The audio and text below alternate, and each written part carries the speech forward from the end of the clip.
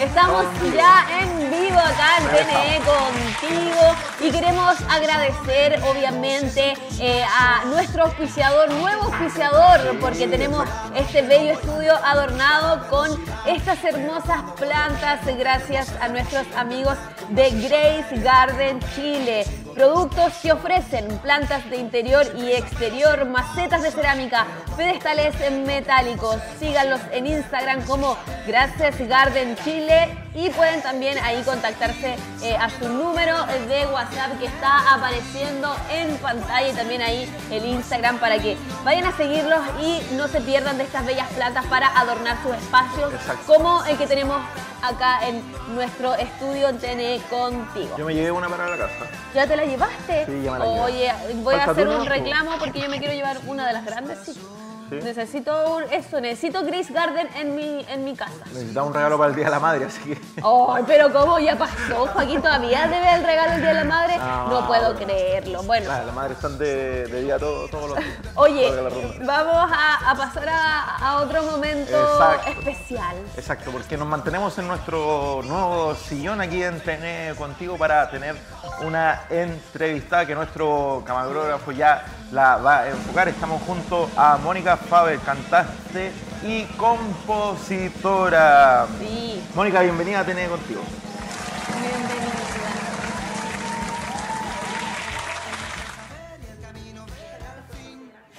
¿Cómo estás? ¿Qué tal tu semana?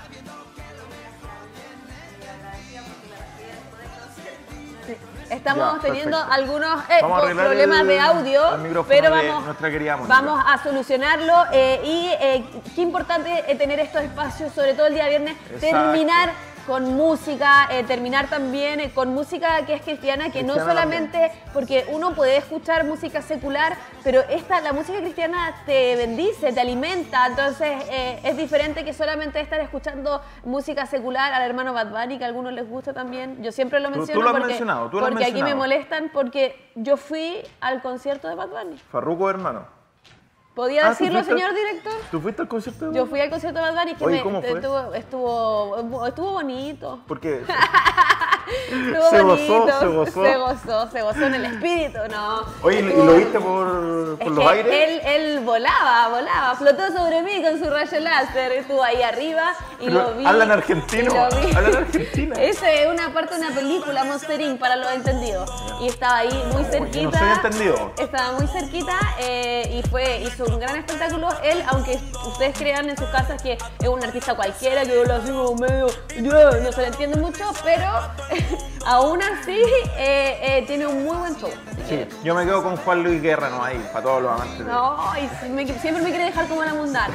Ya, ahora estamos. Ya, ahora sí, ahora sí estamos con nuestra querida Mónica Faber, cantante y compositora. ¿Cómo- Cuéntanos de nuevo, ¿cómo estás? Bien, gracias a Dios. Como Los nervios, los nervios. Sí, nerviosa, ya que un poco resfriada.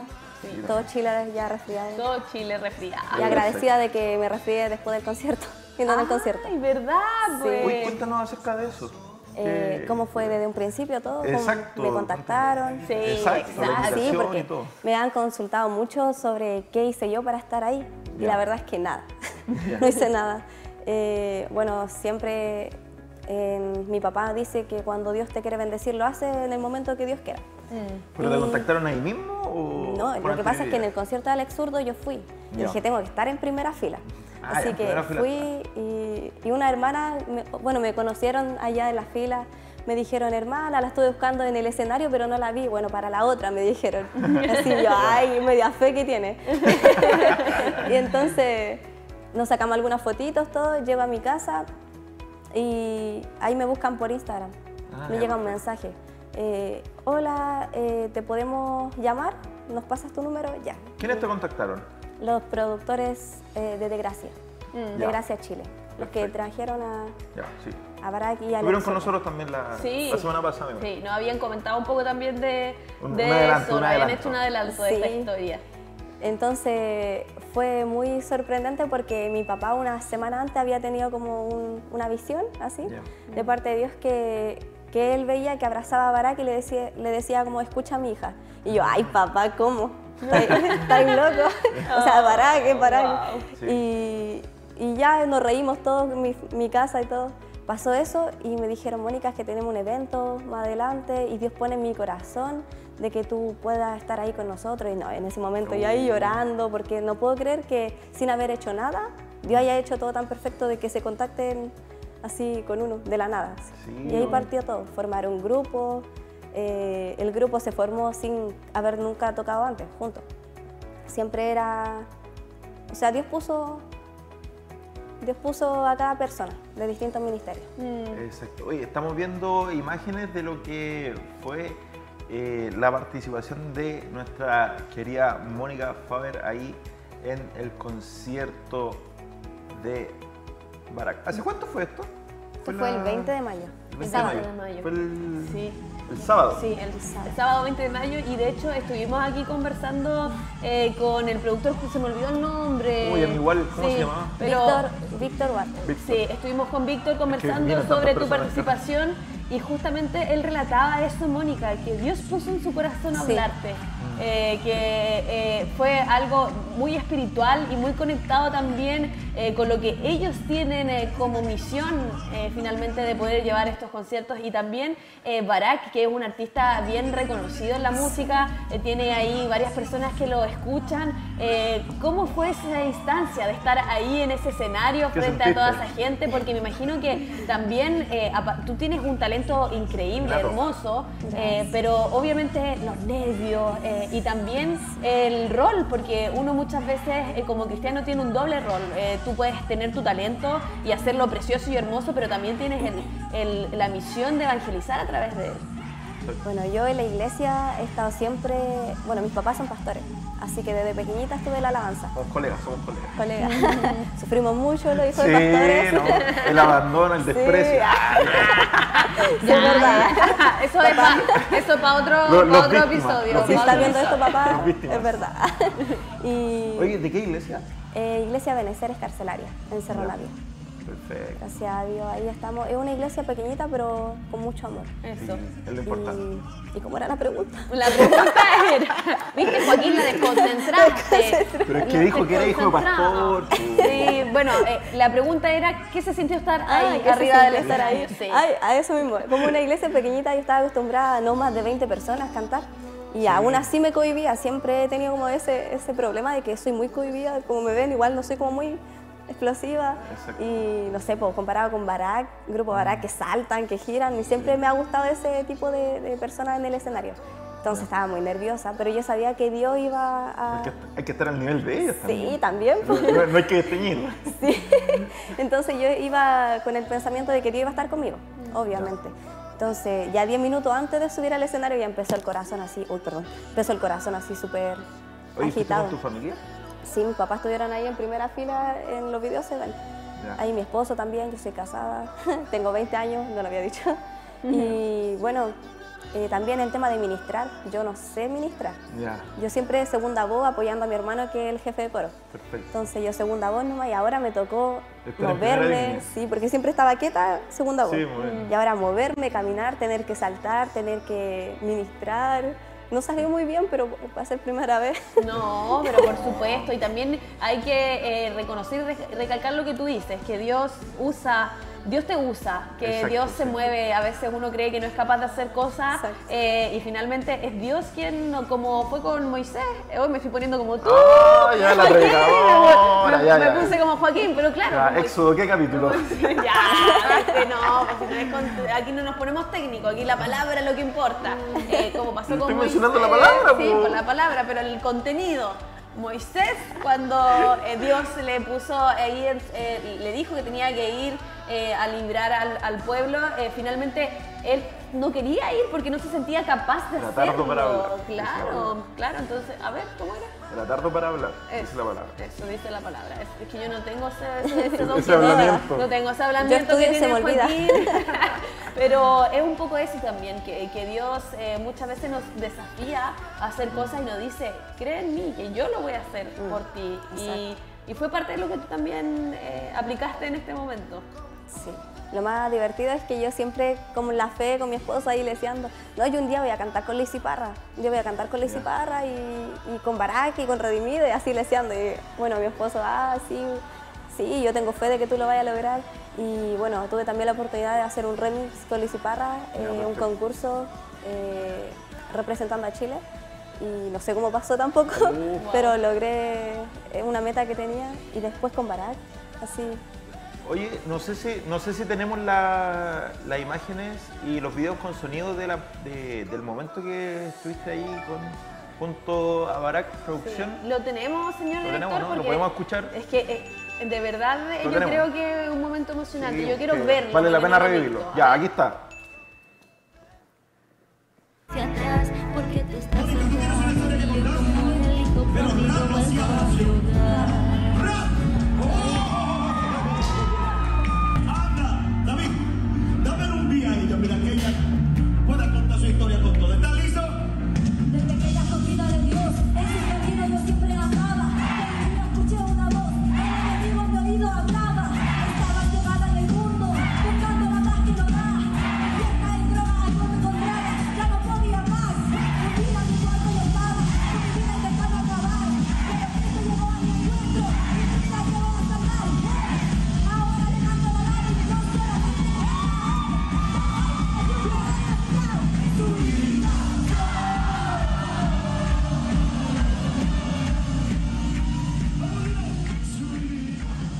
Pero qué buena intervención. Oye, ese fue un momentazo, me imagino, épico en el momento del concierto porque tú estuviste rapeando en la canción Tu hijo soy de Barack. ¿Qué se Sí. sintió en ese momento? Porque se ve súper emocionante Exacto. y toda la gente ahí súper conectada con el momento. Todo esperándote que hablaras.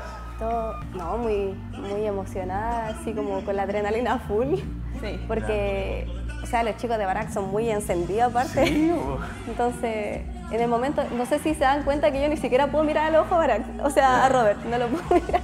Y yo dije, pucha, hasta el abrazo se sintió frío y como que Robert se da la vuelta así, y yo cero contacto visual. No, lo No, pero lo hiciste increíble, lo de verdad. No, y la voz también que eso, tiene. eh, eh, bueno, tienes un talento eh, maravilloso, pero también eh, cómo conectas en ese momento. El sí.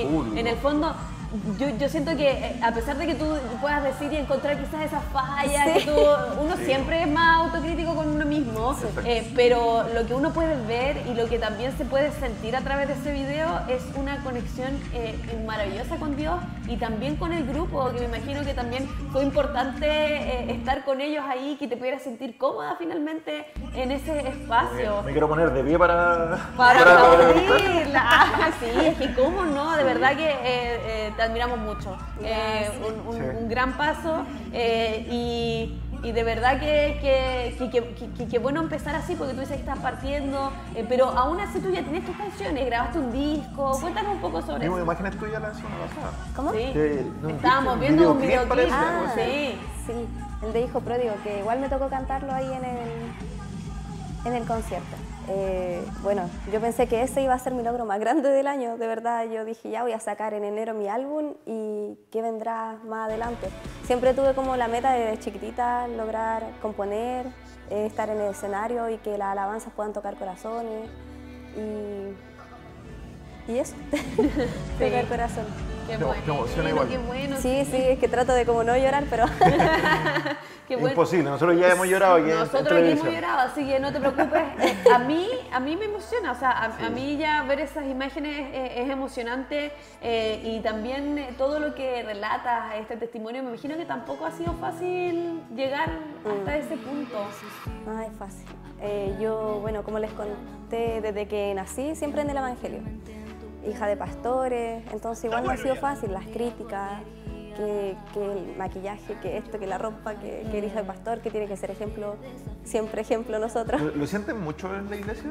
¿Cómo? ¿Lo sienten mucho eso en tu iglesia? las Antes, críticas? antes. Ya, Es que siento antes que Chile, fuerte. Chile es como un país que todavía no ha madurado en ese sentido. Siento que de a poquito estamos como saliendo del cascarón porque es muy así, no sé si me entienden. Sí. Entonces, Muy rígido. sí. No como otros países que ya no importa cómo andes vestido. Entonces, eso, estuve siempre con eso de las críticas que... Con ese que prejuicio. con el prejuicio. Y yo dije, ya, a los 18 años yo me voy. yo no, no tenía el encuentro con Dios en ese entonces. Entonces dije, a los 18 años yo me voy, pruebo lo que siempre he querido probar, eh, que son la droga, el alcohol, eh, fiesta, porque nunca lo viví. Nunca viví eso en mi Quería familia. experimentar. Quería experimentar, exacto.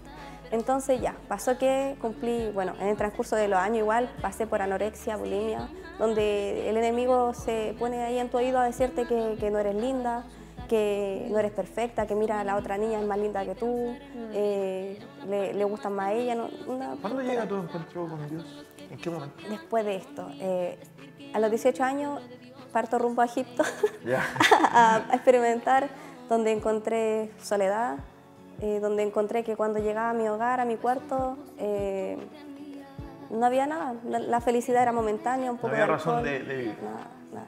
Y de tanto eso ya no podía más. Toqué fondo en un momento muy duro de mi vida, toqué fondo, intenté acabar con mi vida de tantas veces que lo, lo intenté. Y bueno, ingerí muchas pastillas de, de de la presión, que mi mamá tiene problema la presión, entonces ahí se las saqué. Y yo dije, ya, era todo con mi vida, voy a dormir. Y como era el enemigo que me tenía tan, tan cegada que yo pensé que iba a descansar, ustedes saben que no. Entonces me quedo dormida y despierto al otro día sin un dolor de cabeza, sin un dolor de estómago, sin nada. Y eso yo lo, lo hablé con especialistas, igual dijeron, solamente tú, Dios te pudo haber salvado de eso. Entonces, no quiero llorar, no quiero llorar. Y, y ahí fue cuando yo entendí que, que Dios me estaba llamando. Y intenté volver, pero ya era difícil. Era difícil después estar apartada. Así que un día iba, el otro día no iba, una semana sí, una vez al mes y de a poquito. Pasa que Dios me tuvo que tocar lo que más me dolía, que fue que mi papá tuvo un... Bueno, lo tuvieron que operar de urgencia. Entonces yo le dije, Señor, por favor, ahora sí vuelvo a tus caminos. Ya no, no te lo lleves, yo vuelvo a tus caminos. No quiero llorar. Eh, sea, tomaste ahí, la decisión. Sí, y ahí decidí volver. Ya pasaron ocho meses, nueve meses de, de ese entonces eh, y yo estaba ahí en la banca. De ver mi puesto ahí en el coro, verlo vacío. o siempre pasaba que cuando alguien se equivocaba en, en una nota o cantando, yo no, no es así, ¿por qué? Entonces sufría igual, pero yo sé que ahí en la banca Dios me fue quitando, no sé, por la soberbia, la rebeldía, todo lo malo que, que tenía y gracias a Dios eh, ahí tuve mi encuentro después de nueve meses estar en la banca ahí esperando mi- el momento. ahí tuve el encuentro y pude sentir la presencia de Dios y ahí cambió todo. Qué bonito, qué bonito cuando el Señor llega a pesar de los momentos más difíciles. ¿Tú también estás emocionada? Sí, estoy emocionada. Sí, yo eh, me emociono porque también... eh, eh, Es que es lo que Dios hace. eh, veo, lo que Dios hace te y- emociona. sí, y, ve- y veo mucho también en lo que comentas en mi propia historia también, así que eh, gracias por compartirlo, gracias, Gracias. por eh, tu sinceridad eh, y, y lo importante también yo creo que es quedarse con eso, que eh, Dios nunca deja una obra inconclusa. Muchas veces eh, vemos eh, casos de personas que pueden estar cerca a nosotros o nosotros mismos nos puede haber pasado que perdemos el camino y que decimos como ya Dios no hasta aquí llegó Dios. Dios ya no va a poder hacer más. Y Dios nos sorprende con historias como las como las tuyas. Eh, nos sorprende con que él eh, no nos deja como estábamos o no nos deja como nosotros finalmente decidimos estar que es apartados que es quizás eh, arraigados a este mundo con cosas que no nos satisfacen que no nos llenan. Así que muchas No, y es un, gracias es un mensaje para toda la juventud que a veces se siente discriminada en su propia iglesia, en su propia comunidad cristiana, eh, y esto es por no eh, vivir, vivir un evangelio eh, sano, un evangelio saludable donde todos nos podemos equivocar, pero lo, lo que uno siempre espera de su comunidad, de su iglesia, es que eh, no nos juzguen, sino que nos den una mano, nos den un abrazo y nos digan, te caíste, pero nosotros te levantamos. Entonces, eh, un mensaje a la juventud también eh, cristiana que a veces se siente sola, a veces se siente discriminada, a veces se siente eh, que le hacen el vacío, tú en las iglesias, que, que suele ocurrir. que uno muchas veces mira como lo que hace el hombre cuando la misma palabra dice que no hay que poner la confianza en el hombre. Y es como una- un error de nosotros, muchas veces yo creo que de la inmadurez, eh, de al no tener el encuentro, nos sentimos más ofendidos, pero ya una vez tenemos el encuentro con, con el Espíritu Santo, con Dios, ya todo es más llevadero, todo más ligero, entonces ya no te importa lo que digan de ti, te importa solamente alabar a Dios y ya. En el mundo no vas a encontrar nada bueno, nada bueno, en la droga, en el alcohol, eh, que te va a llevar a puras decepciones, como yo que toqué fondo, muchas muchos testimonios de jóvenes igual que me escriben que gracias a la alabanza el hijo pródigo pudieron volver igual a los caminos de Dios. Esa alabanza yo la inventé una semana después de haber vuelto a los caminos de Dios. Y ahí está como escrito todo lo que viví. Exacto, y qué, qué boni- qué bonito título, qué, qué bonito relato bíblico también es la del hijo pródigo.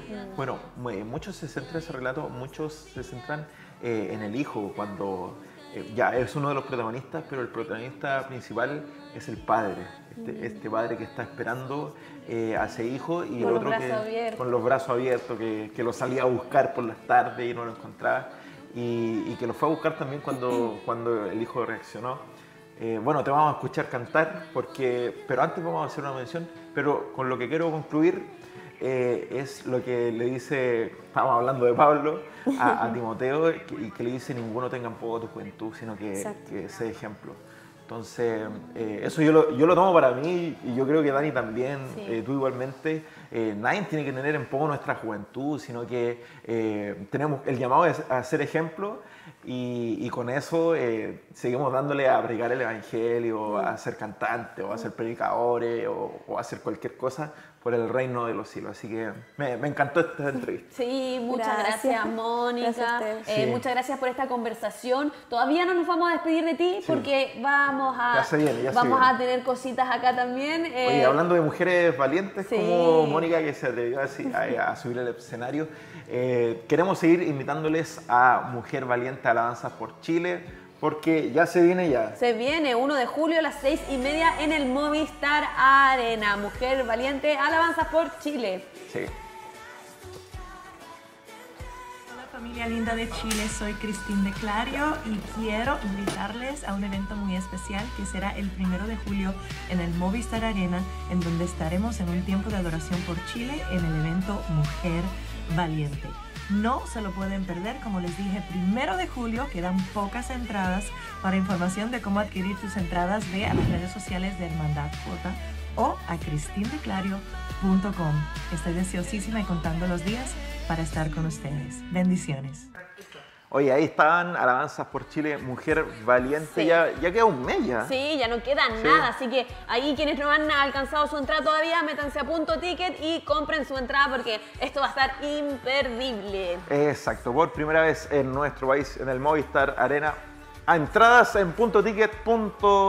Oye, te Sí. agradecemos, Mónica, por estar junto a nosotros y qué buena esta instancia. Agradecemos nuevamente a la producción para visibilizar a, las, eh, a los cantantes cristianos Sí. de nuestro país y sobre todo a los, los jóvenes. Sí, los jóvenes y también quienes han tenido esta oportunidad hermosa de poder estar en un escenario tan importante como estuviste junto a Barack. Eh, que tengan todos un muy buen de semana. Exacto. Nosotros ya nos vamos a estar despidiendo, pero nos vemos el próximo lunes, si Dios quiere, aquí en TN contigo. Sigan la programación de Televisión Nacional Evangélica y ya nos retiramos. Le mandamos un abrazo fuerte a todos y a todas. Muchas gracias por su sintonía y vamos a escuchar. Vamos a escuchar, no sé, es que está media rara la pauta. Está- está media rara la director, ¿Me pauta. puede soplar por aquí mejor? Ya, pero vamos a escuchar- Hay, hay dos.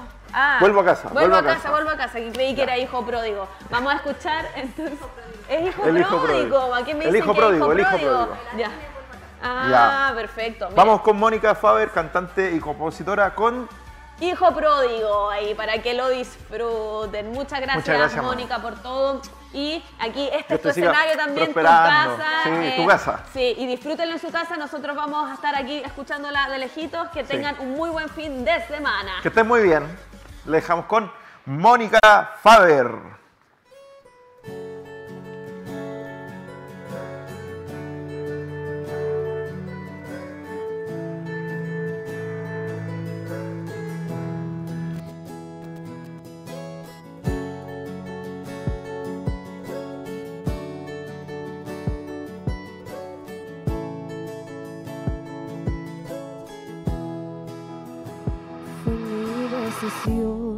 Apartarme de tu gran amor, confiando fielmente en tu perdón, sabiendo que algún día volvería. Ay, yo fallé al querer desafiarte otra vez. Como siempre yo mal te pagué. Me aparté de tu lado, fui yo quien soltó tu mano. Tú sabías que esto pasaría, Pues un propósito tú tenías, por el desierto me llevarías. Y ahí tú sabías que allí te buscaría, entre llantos te clamaría y tu mano me sostendría.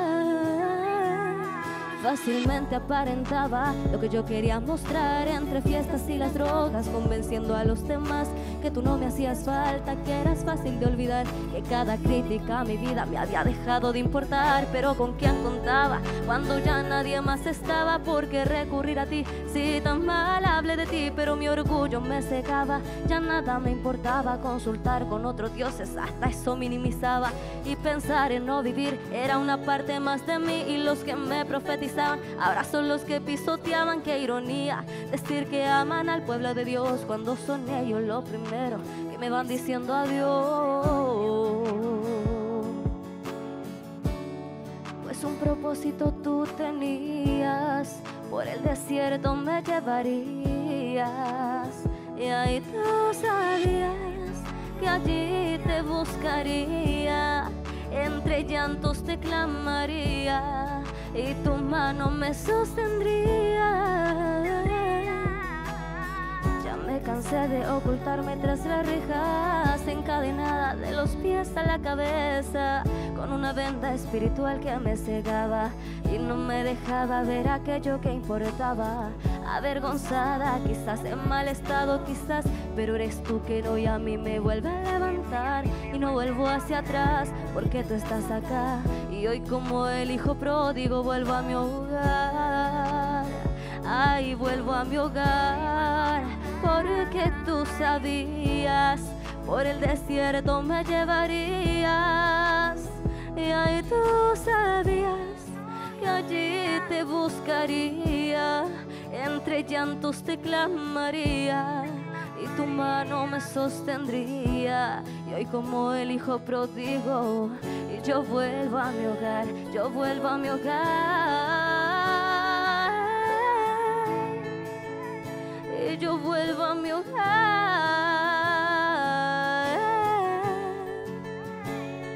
Yeah. Yo vuelvo a mi hogar. Y hoy como el hijo pródigo yo vuelvo a mi hogar.